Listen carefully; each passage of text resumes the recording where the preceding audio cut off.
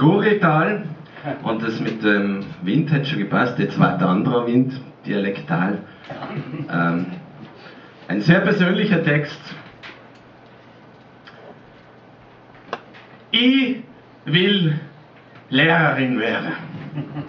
Ich will Lehrerin werden. Bis zu meinem zehnten Lebensjahr habe ich gewählt Lehrerin werden. So wie der Grisur, der kleine Drache Feuerwehrmann hat gewählt wäre, habe ich gewählt Lehrerin wäre. Lehrerin wohlgemerkt, mit großer Binnen i. Weil bis zu meinem zehnten Lebensjahr habe ich Lei Lehrerin kennt. Und den Herrn Schuldirektor, aber mit dem war ich überkreuz. Der war nicht auf meiner Seite, vom Pfarrer gar nicht zu reden. Der Herr Schuldirektor hat mir schon von Anfang an nichts gemerkt. Lei, weil ich am Bubenklo Pariser mit Vanille, Erdbeer, Schokolade und Stracciatella-Geschmack verkauft habe. Derweil war das nicht eindeutig die Lieblingsgeschmackssorte von der Zielgruppe gewesen. Zumindest was das Eis angeht. Der Herr Schuldirektor nennt man wegen der Frisur und weil es schneller geht, einfach Glatzel. Der Direktor Glatzel war ein Mann von der alten Schule und hat sich für mich eine besondere Strafe einfallen lassen. Derweil war ich ja mit meiner Verkaufsidee eigentlich quasi ein Trendsetter. Halt direkt in den Automatenverkauf. Auf jeden Fall. Versteht ihr gerade schon?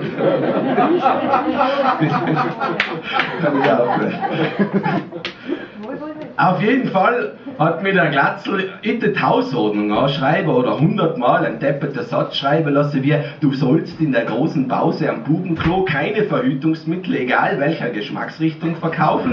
Na, er hat vermutlich gewählt, meine überschüssige Energie kanalisieren und mir einen Weg der Kreativität weisen. Er hat nämlich Wisse gewählt, wie meine ganz persönliche Wunschschule gesellt. Gut, habe ich mir gedacht die zehn Gebote kannst du haben.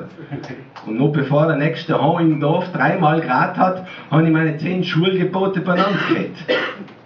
Ich kann mich noch gut an alle zehn Punkte erinnern. Ich habe ja auch lange Lehrerin nach meinen Regeln gespielt. So lange, bis ich keine Schüler, Schülerinnen haben sich meinem Regiment sowieso nicht vertraut, so lange, bis ich keine Schüler mehr gekriegt habe. Und das hat eigentlich ganz meiner Wunschschule entsprochen.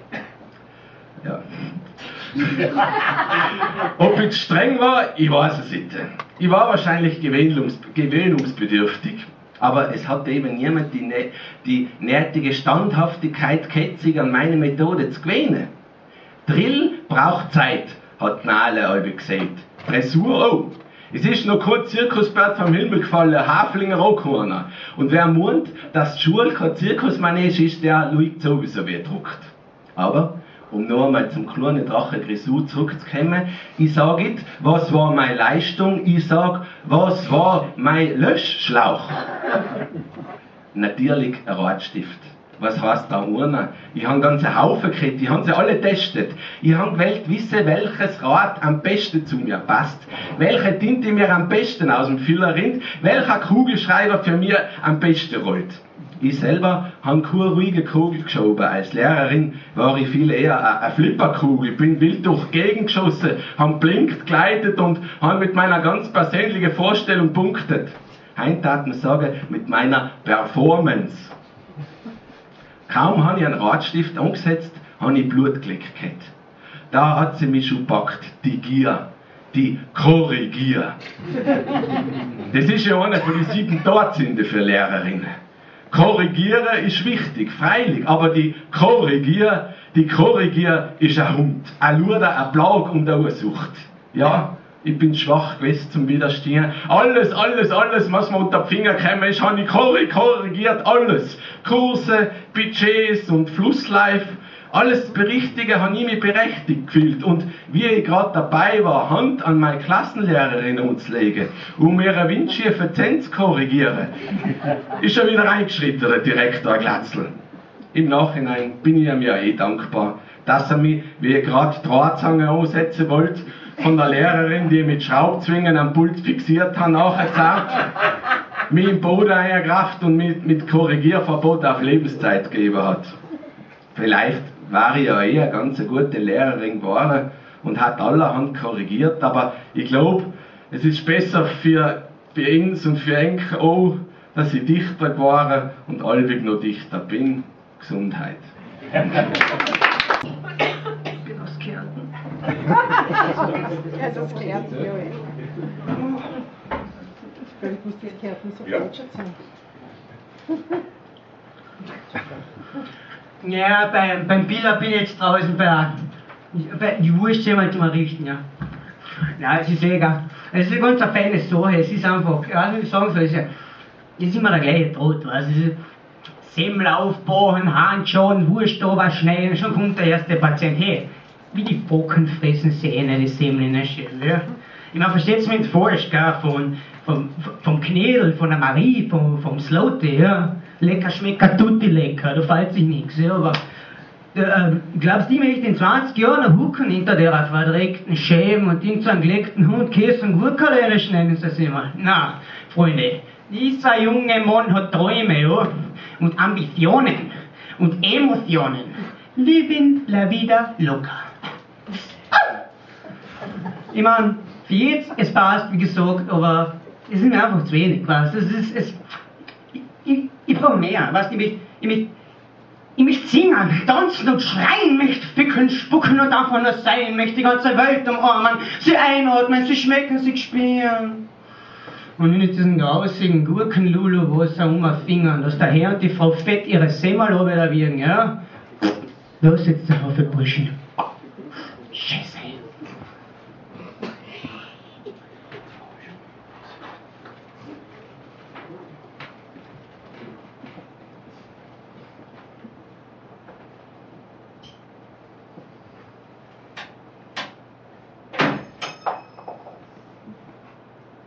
Das nächste Gedicht äh, ist aus einer britischen Sammlung, ist ein englisches Gedicht äh, und wenn es erlaubt ist, möchte ich es jetzt vortragen.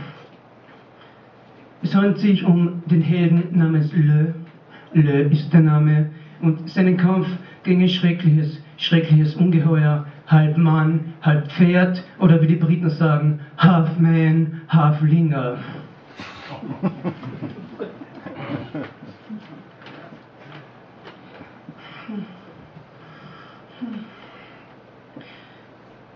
So the king told Le, when the monster is found, don't make no sound. But the monster woke up, and Le flew round and round, and that's why Le fell on the ground.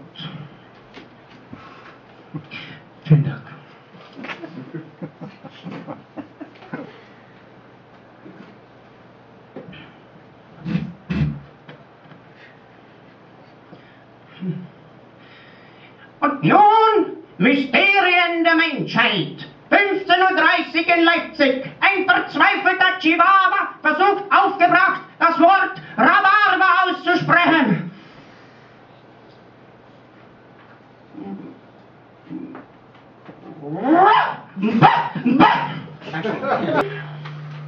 Ja, was bei der LG U-Bahn-Stationen sind, sind bei mir die Fragen.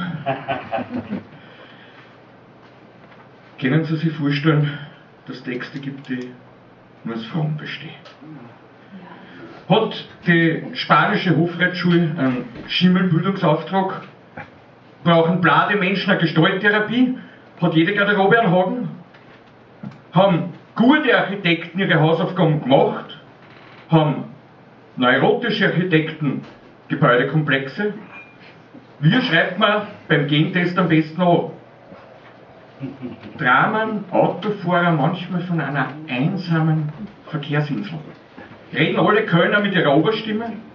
Wo machen Nacktscanner Urlaub? Am FKK-Strand? Sind Uhren deswegen so teuer, weil Zeit Geld ist? Was für eine Laufmaschen haben Jogger? Sind die Griechen mit ihrem Latein wirklich am Ende? Ist für ihr Gebiss auch schon das goldene Zeitalter angebrochen? Sprechen sie nur mit Bob oder reden sie auch mit richtigen Menschen? Welche Konfektionsgräs haben Mozartkugeln? Heißt am Fischbuffet all you can eat? Ist jeder, der was nach ihnen aufs Klo geht, automatischer Thronfolger? Waren Altlasten armer Jung? macht er mit Philosophen kurzen Denkprozess, hat auch Schwarzbär manchmal lichte Momente, wie stehen Brieftrager zur Postmoderne, haben äh, Antialkoholiker manchmal Schnapsideen, wieso brauchen Fotografen dauernd Entwicklungshilfe, haben Dopingjäger wirklich nur Laufkundschaft, ist Rum für sie ein Lebenselixier oder eher der Fluch der Karibik? Wenn sie Bergsteigerinnen hochschlafen, ist das nicht der Gipfel? Und wenn die Kommunikation einmal zusammengebrochen ist, wer hilft ihr wieder auf die Füße? Haben Sie in Ihren Chemiekasten auch subversive Elemente? Wie gendert man Herrenpütz? Wenn Vorsicht die Mutter der Porzellankiste ist, wer ist der Vater? Wenn man als Mann irrtümlich aufs Damenhäusl geht, hat man sich dann verpisst. Was ist die Steigerungsform von Defekt? Defekter? Gibt es in Österreich eigentlich noch irgendeinen Politiker, für den die Unschuldsvermutung nicht gilt? Glauben Sie wirklich, dass Weihnachten ein Kindergeburtstag ist?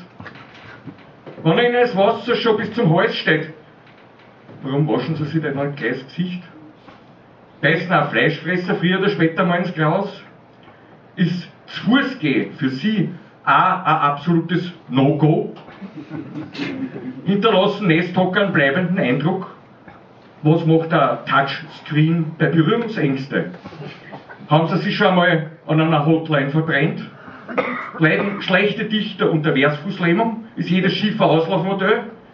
Wie soll man Schwarzgeld in der Nacht erkennen? Wird Haschisch irgendwann einmal legalisiert werden? Oder ist das ein Schuss in den Ofen? Wir stehen Pfadfinder zu Umwege. Kommen Babyschafe aus dem Laminiergerät? Wenn ich atmungsaktive Unterwäsche trage, wieso halten alle die Luft an? Warum gibt es eigentlich nur YouPorn? Warum nicht auch iPorn? Oder VPorn? Oder Let's Porn Together? Wie entspannt sind Regenschirm bei Schönwetter? Wird ein Drehsessel mir schwindlig? Warum steht das Weiße Haus nicht in Casablanca? Stehen sexuell verklemmte Menschen nur auf Antikörper? Sind Bussel nur Lippenbekenntnis? Und ist wirklich jeder Zungenkuss eine Gaumenfreude? Wird die Missionarstellung auch von Atheisten praktiziert? Wenn die Österreicher die Ergebnisse von der PISA-Studie auch noch lesen könnten, war das nicht noch ärger? Wie wollen die Biefke jemals einen Superstar finden? Sind Außerirdische manchmal nicht ein bisschen weltfremd? Wenn Gottes Mühlen langsam malen, ist dann ein Wunder, dass so viel Leute zum Teufel gingen. Und wenn die Zeit stillsteht, wie soll dann spät kommen? Womit soll ich aufhören, wenn nicht mit einem Finalsatz? Oder hätten Sie eine andere Abschiedsvorstellung? Dankeschön.